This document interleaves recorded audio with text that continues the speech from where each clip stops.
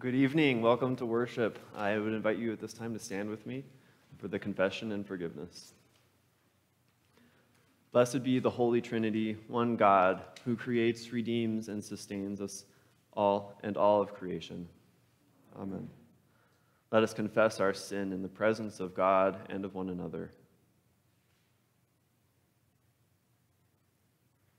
Faithful God, have mercy on us.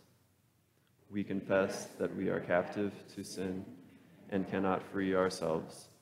We turn from your loving embrace and go our own ways. We pass judgment on one another before examining ourselves. We place our own needs before those of our neighbors. We keep your gift of salvation to ourselves. Make us humble, cast away our transgressions, and turn us again to life in you through Jesus Christ, our Savior and Lord. Amen. God hears the cries of all who call out in need, and through his death and resurrection, Christ has made us his own. Hear the truth that God proclaims Your sins are forgiven in the name of Jesus Christ. Led by the Holy Spirit, live in freedom and newness to do God's work in the world. Amen.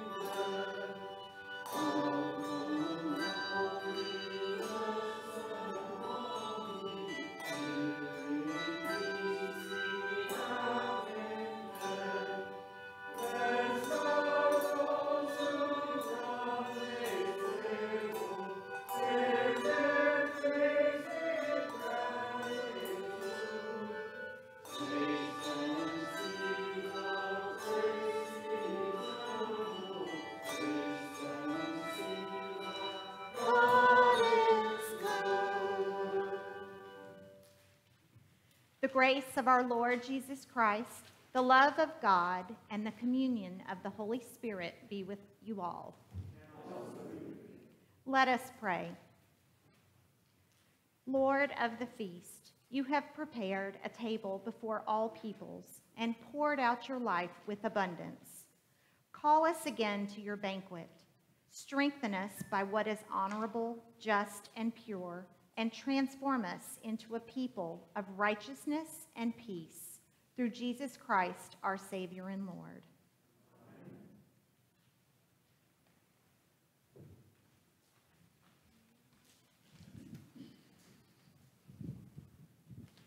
Well, good evening again. Welcome to Abiding Presence Lutheran Church, a place of grace where all are welcome. Our mission is to seek God and serve others. Welcome to those who are worshiping online, as well as those who are here in person. Thank you for making your registration on aplc.org. Um, next week's worship reservations will open up on Monday. I'm sorry to announce our annual trunk or treat event has been canceled. This decision was made after the CDC put out guidance considering events like that to be very high risk. So um, we encourage you strongly to, to go out and buy your favorite candy and enjoy it um, in the comfort of your home. I, uh, let's see, coming up this Reformation Sunday on October 25th, you're all invited to a bring your own picnic gathering. Come enjoy, it'll be a beautiful day outside. We'll have fellowship in the outdoor chapel area from 4 to 6 p.m. Please bring all your own food, drinks, and feel free to use our picnic tables here or to create your own space by bringing blankets from home and chairs. There's going to be pumpkins to decorate, there will be a family activity to do together, and music to enjoy for everyone. We hope to see you there. After worship this evening and also on Sunday, feel free to join myself and Pastor Steve in the outdoor chapel just across the parking lot for conversation and fellowship. We'd love to see you, to check in, um, see how you're doing, see how things are going for you. Um, so now let us turn our hearts and minds to the hearing of God's word.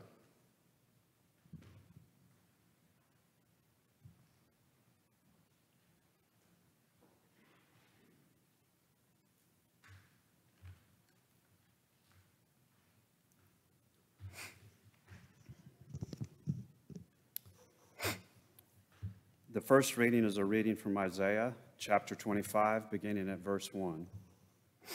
O Lord, you are my God. I will exalt you. I will praise your name, for you have done wonderful things, plans formed of old, faithful and sure. For you have made the city a heap, the fortified city a ruin. The palace of aliens is a city no more. It will never be rebuilt. Therefore, strong peoples will glorify you Cities of ruthless nations will fear you, for you have been a refuge to the poor, a refuge to the needy in their distress, a shelter from the rainstorm, and a shade from the heat. When the blast of the ruthless was like a winter rainstorm, the noise of aliens like heat in a dry place, you subdued the heat with the shade of clouds. The song of the ruthless was stilled. On this mountain, the Lord of hosts will make for all peoples a feast of rich food, a feast of well aged wines, of rich food filled with marrow, of well aged wine strained clear. And he will destroy on this mountain the shroud that is cast over all peoples, the sheet that is spread over all nations. He will swallow up death forever. Then the Lord God will wipe away the tears from all faces, and the disgrace of his people he will take away from all the earth for the Lord has spoken. It will be said on, the, on that day, Lo, this is our God. We have waited for him so that he may save us. This is the Lord for whom we have waited. Let us be glad and rejoice in his salvation. Word of God, word of life.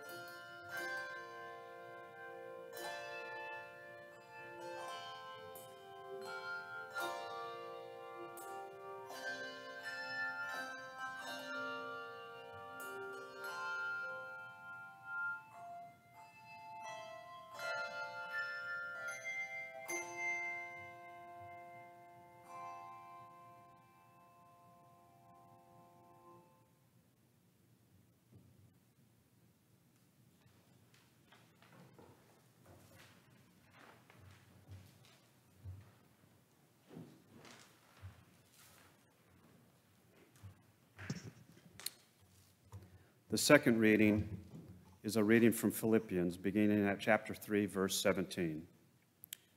Brothers and sisters, join in imitating me and observe those who live according to the example you have in us. For many live as enemies of the cross of Christ. I have often told you of them, and now I tell you even with tears. Their end is destruction, their God is in the belly, and their glory is in their shame. Their minds are set on earthly things. But our citizenship is in heaven, and it is from there that we are expecting a Savior, the Lord Jesus Christ. He will transform the body of our humiliation that it may be conformed to the body of his glory, by the power that also enables him to make all things subject to himself. Therefore, my brothers and sisters, whom I, I love and long for, my joy and crown stand firm in the Lord in this way, my beloved. I urge Euodia and I urge Syntyche to be of the same mind in the Lord. Yes, and I ask you also, my loyal companion, help these women, for they have struggled beside me in the work of the gospel together with Clement and the rest of my co-workers whose names are in the book of life. Rejoice in the Lord always. Again, I will say, rejoice. Let your gentleness be known to everyone. The Lord is near. Do not worry about anything, but in everything by prayer and supplication, with thanksgiving, let your request be known to God. And the peace of God, which surpasses all understanding, will guard your hearts and your minds in Christ Jesus. Finally, beloved, whatever is true, whatever is honorable, whatever is just, whatever is pure, whatever is pleasing, whatever is commendable, if there is any excellence, and if there is anything worthy of praise, think about these things. Keep on doing the things that you have learned and received and heard and seen in me, and the God of peace will be with you. Word of God, word of life.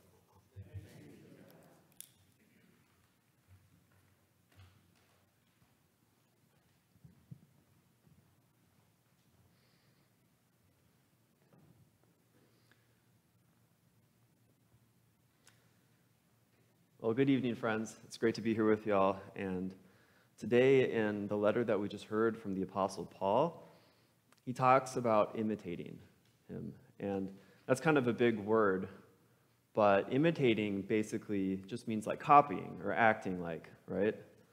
Um, so I just want to play a quick game with all the kids here and all the former kids here as well. And this might be a little uncomfortable, but I hope you'll bear with me. This game is one you might be familiar with. It's called Simon Says. All right, so you know how this game works probably. I'm not going to go in depth with the rules, but you have to make sure you do what Simon says and not what Simon doesn't say. All right, so Simon says, touch your forehead. Simon says, put your right arm in the air. Simon says, put your left arm in the air. Put both your arms down. Oh, Simon didn't say, well, most of you did a great job. That's as much as we're going to play right now. But um, so we're, yeah, like I said, that we're going to hear about imitating, and Paul's going to write to the church in, the, in Philippi, and he's asking them to imitate, to act like, to copy people that act like Jesus, who copied Jesus. And what that means and what that looks like is loving each other the way that Jesus loves us. And acting like Jesus and being true and honorable and just and pure and pleasing and worthy of praise. So, would you all pray with me? Dear Jesus, please help us to copy you, to imitate you, and to do the sort of things in the world that you would have us do. In your name we pray. Amen.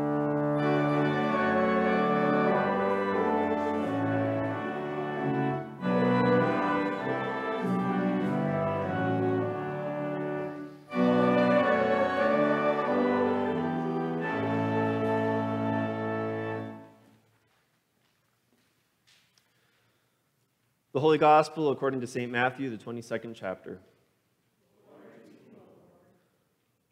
Once more, Jesus spoke to them in parables, saying, The kingdom of heaven may be compared to a king who gave a wedding banquet for his son.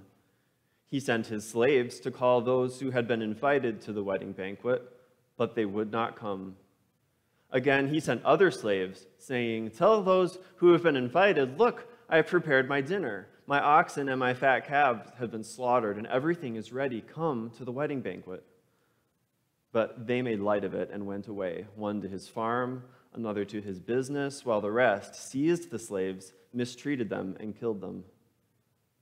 The king was enraged. He sent his troops, destroyed those murderers, and burned their city.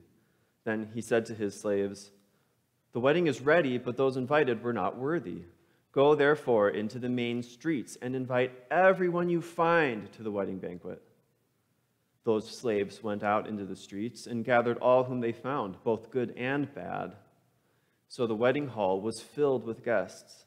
But when the king came in to see the guests, he noticed a man there who was not wearing a wedding robe. And he said to him, Friend, how did you get in here without a wedding robe? And he was speechless. Then the king said to the attendants, Bind him hand and foot and throw him into the outer darkness, where there will be weeping and gnashing of teeth. For many are called, but few are chosen. The Gospel of our Lord. Please take seats.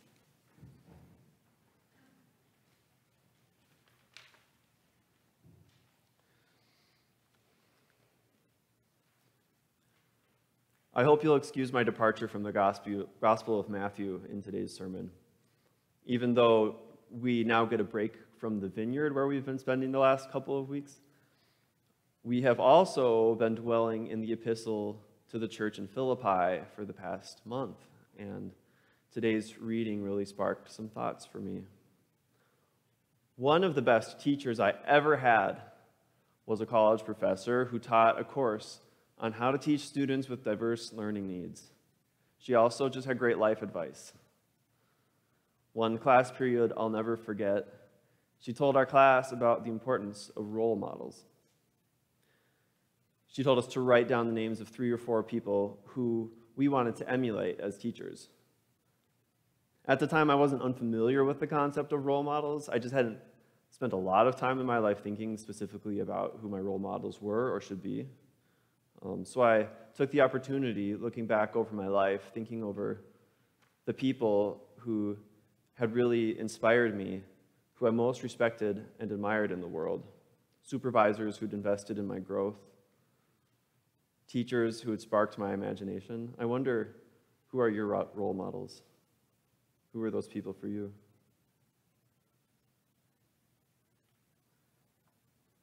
As I left college and started working, this one activity really stuck with me. It helped me to build a habit of asking myself questions like, how would Monty organize this class? Or what would Kristen do in this tough situation?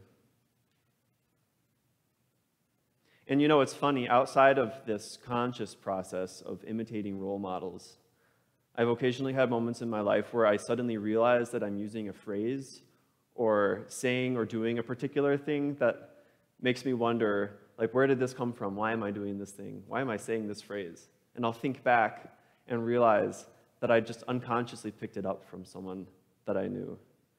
Like the way that I say, does that make sense after I explain things to people, just the way my boss used to do that to me? Or the way that I respond to people by saying, outstanding, like my first sergeant used to say at Fort Hood? Perhaps this very human tendency to look to and imitate others as a model and example helps explain the Christian phenomenon of canonized saints. I realize that as Lutherans, we have historically de emphasized the idea of formal sainthood. But let's be honest, that it doesn't keep us from lifting up our own canon of, if not saints, those whose example should be followed. Martin Luther, Johann Sebastian Bach, Dietrich Bonhoeffer, Rick Steves, I'm sure there's others. In our epistle reading today, Paul asks the Philippians to imitate him. But we see in the larger canon of Paul's writings that he doesn't consider himself the end point in this imitation game. He asks the Corinthians to imitate him too, but only insofar as Paul himself imitates Christ. Ultimately, what Paul's asking us of us here is to be Christ like, to be conformed to the body of Christ's glory, to be of the same mind of the Lord, standing firm. Paul has a warning and a promise for the church in Philippi. The warning is this we do well to think carefully about who we imitate. Because I'm pretty sure we follow role models, whether we're aware of it or not, and not every role model is a good one. Paul tells us that many live as enemies of the cross of Christ. We live in a world where sin is very present. Contrary to the example we have in Christ of self giving love on the cross, there are forces in this world seeking destruction. There are forces that would tear apart communities who have no regard for the lives of the most vulnerable among us. Forces that have no interest in protecting God's creation and the wonderful life it sustains. Their only concern is their appetite. Without considering the consequences to people and the world around them, these forces seek after unethical profits, power, pleasure, even celebrating their shameful actions. Their concerns are earthly, an idea which resonates with our gospel reading today, as Matthew writes, one tending to his farm and one to his business, ignoring the invitation to the wedding feast of God. Paul isn't afraid to acknowledge the reality and presence of sin in our world. The tough part about this is that it makes me wonder how I participate in these forces of destruction that are larger than any of us the ways I've internalized and mimicked destructive or toxic relationship patterns that I have either instigated myself or picked up unconsciously from the people around me, how I might perpetuate the brokenness in our fallen world rather than work for healing and reconciliation. Paul is well acquainted with these destructive forces. He writes this letter from prison, possibly in Rome or Ephesus. It's hard to make a comparison to the brutality of Roman prison. But I know this pandemic has left many of us feeling somewhat imprisoned in our own homes. And despite Paul's dire circumstances, the tone of this letter is undeniably hopeful. Even as if even in the midst of a broken world and imminent danger, we, the citizens of heaven, can still expect the Lord Jesus Christ. The Lord is near. Rejoice in the Lord. Christ our Lord has power over all things and will transform our body of humiliation, our human lowliness, our existence in this fallen world of sin and brokenness into the body of Christ's glory. This is our promise in Jesus. We are already citizens of heaven. And as we struggle together as co workers for the gospel in prisons and in pandemics, we know that Christ ultimately has the power of transformation and that we are ceaselessly being drawn to Christ. This conforming to Christ's glory, this nearness to the Lord, brings us the peace of God, says Paul.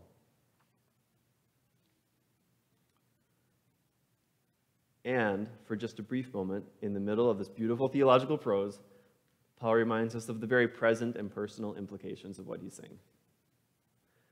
We know almost nothing about Euodia and Syntyche, the two women Paul mentions. Even the idea that there's conflict between them is only implied. We can conjecture that the fact they're named here by Paul means that they were central figures in the Philippian church. Paul speaks, excuse me, Paul speaks very highly of them both, writing that they struggled beside him in the work of the gospel. They are co workers with Paul. He urges them to be of the same mind in the Lord. You see, even as fellow workers in our cause, struggling in the work of the gospel, we will encounter disunity and conflict.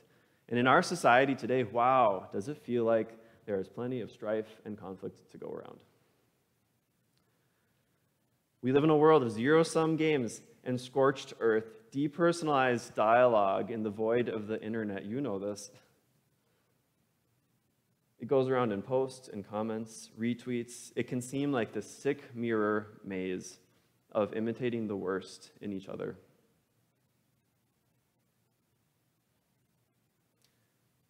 It feels like the world is full of Euodias and Syntyches, hardworking, well intentioned citizens of heaven who still find themselves at odds. How can Paul possibly write about the peace of God here Is this peace of God even available to us in 2020? Sometimes peace sounds like a totally foreign concept these days. But this peace of God promised here is not the static, numbing, passive peace offered by the world. It's a peace that guards hearts and minds. It's a peace that is found in struggling in the work of the gospel. It's a peace that is helped by community. This peace knows public gentleness. It's found in nearness to the Lord. It does not heed the voices of worry and anxiety, but raises requests to God with thanksgiving and gratitude. It's a peace that is found in doing the things we have learned and received and heard and seen, not only from Paul, but also from Euodia and Syntyche, and Clement and Augustine, and Harriet and Rosa, and Desmond and Martin, and generations upon generations of faithful people of God struggling in the work of the gospel, always imperfectly, yet as loyal citizens of heaven, being continually conformed into the glory of Christ. And maybe, maybe we can tap into some of this peace from God by looking to the example of those who have come before us. Not as a way of earning God's love or salvation. These are already our inheritance as citizens of the commonwealth of heaven. But I know that I sure find peace in remembering that I'm not alone, that others have struggled before me in this work of the gospel for generations and generations. And so I wonder if, with apologies to the Apostle Paul, instead of thinking whatever is true, whatever is noble, maybe it's more pragmatic to think about whoever. Think about these people. Whoever is true, like Sojourner Truth. Whoever is honorable, like Oscar Romero. Whoever is just, like Susan B. Anthony.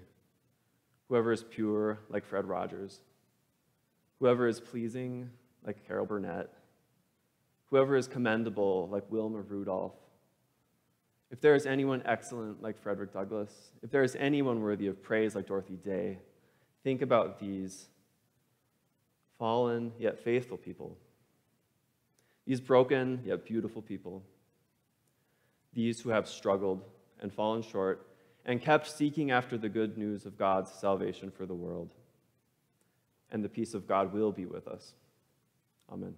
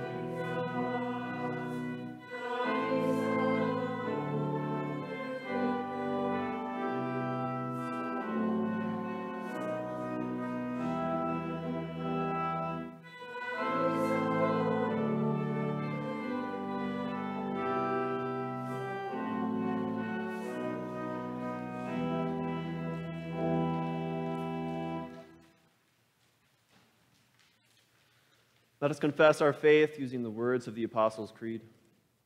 I believe in God, the Father Almighty, creator of heaven and earth.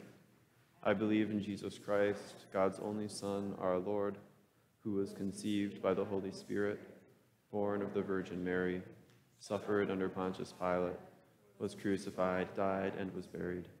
He descended to the dead. On the third day he rose again. He ascended into heaven. He is seated at the right hand of the Father, and he will come to judge the living and the dead.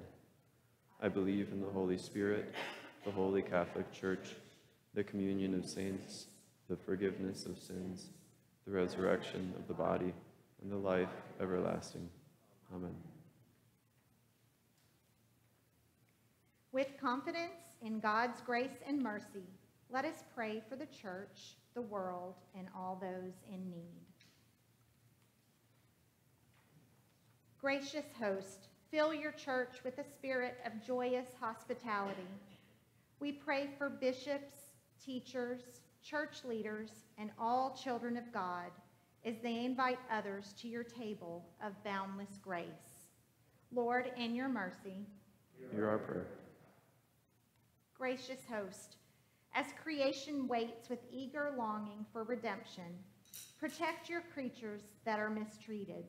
Restore valleys, mountains, and pastures, still and running waters, and those areas affected by wildfires, hurricanes, and other natural disasters.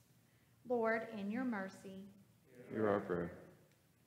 Gracious host, as you set a table in the presence of enemies, so bless the efforts of diplomats, international peace workers, and world leaders who navigate conflict.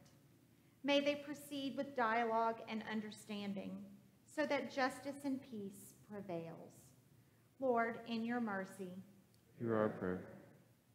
Gracious host, we pray that the plague of the coronavirus will subside, that all who are sick with the virus be healed, and that people living with fear be comforted. Let your gentleness be known among those who are weary or ill, especially Scott and Becky Jones, Michelle Amerks, the family of Trey Deloach on his passing, Todd Erickson, Lene Sorensen, Becky Benish, Gerald Pruitt, and we ask for prayers of thanksgiving for Mandy and Caleb Ham on the birth of their daughter, May Lee, as well as those intentions we say in our hearts or out loud. Strengthen doctors, medical, medical care workers, and caretakers who see to their needs. Lord, in your mercy, Hear our prayer. Gracious host, when we are quick to judge outward appearance, remind us how you clothe all in your mercy. We pray for ministries that provide needed clothing and other personal care assistance in this community, such as Haven for Hope, the San Antonio Children's Shelter, and all ministries supported by our congregation. Lord, in your mercy, Hear our prayer. Gracious host, as we remember those who have died and are gathered at the heavenly banquet, comfort us with your presence. Assure us of your peace at all times. Lord, in your mercy, Hear our prayer.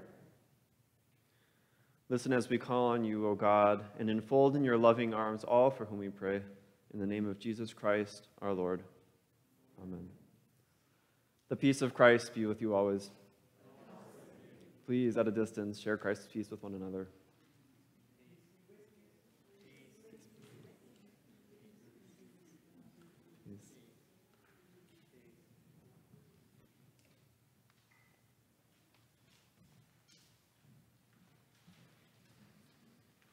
I invite you to be seated.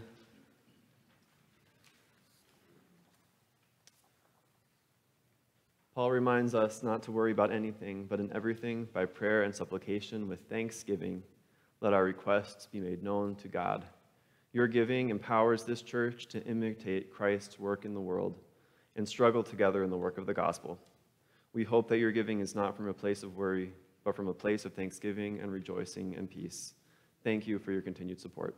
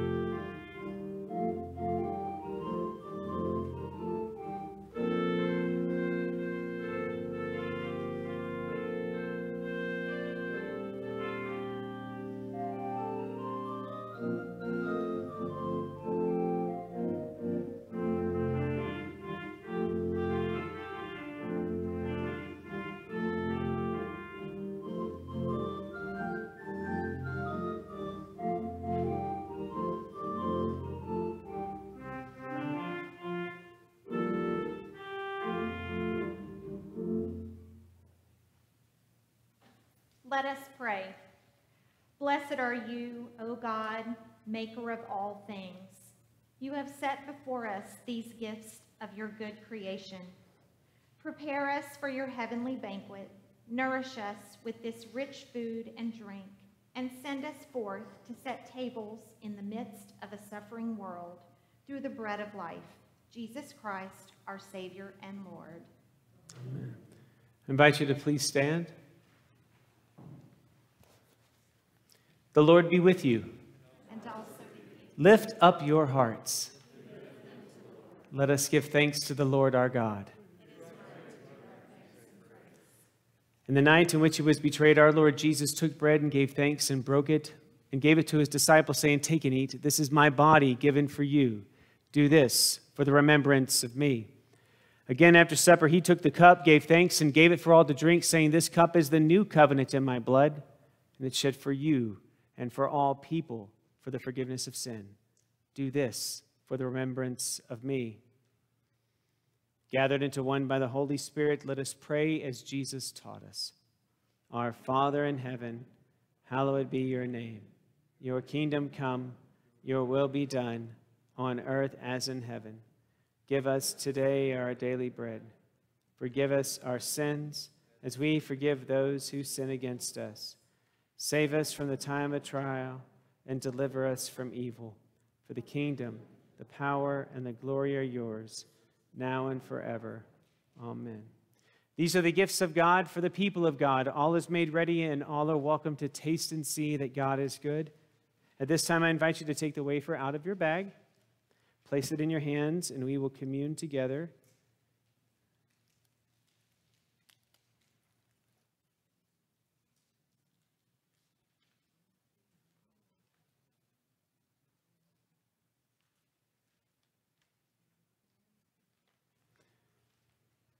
This is the body and blood of Christ given and shed for you.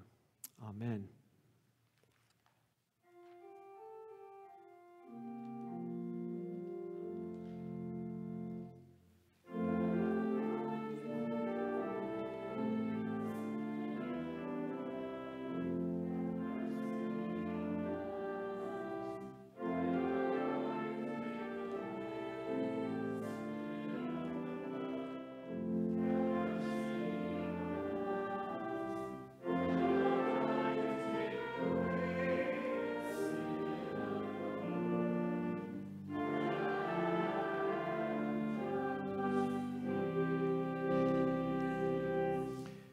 Now may the body and blood of our Lord Jesus Christ strengthen us and keep us in God's grace. Amen. Let us pray. We give you thanks, Almighty God, that you have refreshed us through the healing power of this gift of life. In your mercy, strengthen us through this gift in faith towards you and in fervent love toward one another, for the sake of Jesus Christ our Lord. Amen. And now receive the blessing. Mothering God, Father, Son, and Holy Spirit, bless you and lead you into the way of truth and life. Amen.